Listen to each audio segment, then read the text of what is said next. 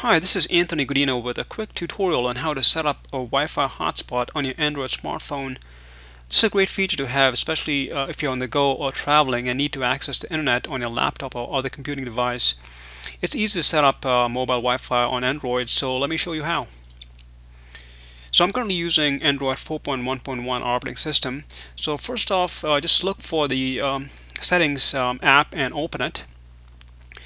Um, once you do that, um, choose the More option.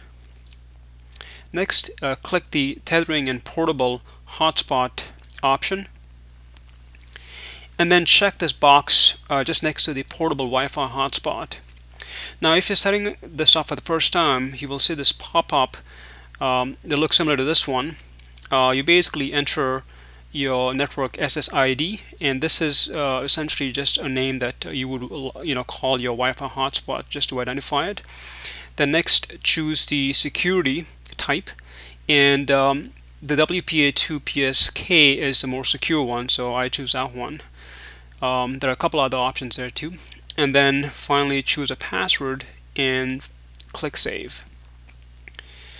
Um, you know make sure that um, you, uh, this check mark next to the portable Wi-Fi hotspot is, is checked.